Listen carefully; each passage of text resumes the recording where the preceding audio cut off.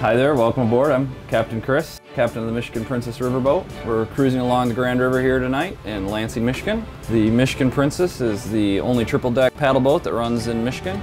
We hold up to 500 people for party cruises and 300 for a meal.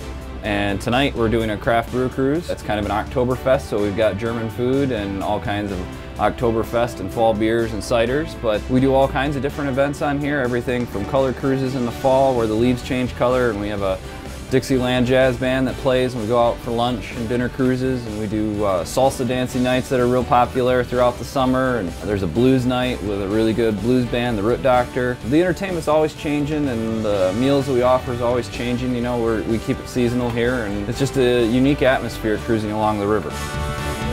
We're cruising on the Grand River. That's the longest and largest inland river in Michigan. We cruise past three city parks, which keeps a lot of foliage and just beautiful area to cruise past. It's just really scenic. Michigan Princess has three decks. The first deck is the Grand Salon, and that facilitates up to about 120 people for a seated meal.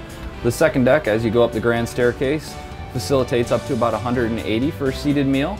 And the third deck, the captain's dining room, facilitates up to about 60 guests for a seated meal.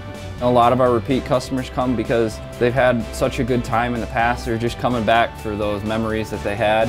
It's really an icon in Lansing. Everybody knows what you're talking about. When you say the riverboat and you're in Lansing, they're talking about us. We're the only riverboat in this area of the state. We try to cater to as many different audiences as we can and we have a lot of different experiences and people come back and ride the boat just for the different experience every time. Thanks for coming out and joining us aboard the Michigan Princess tonight, and we hope to see all of you on board real soon.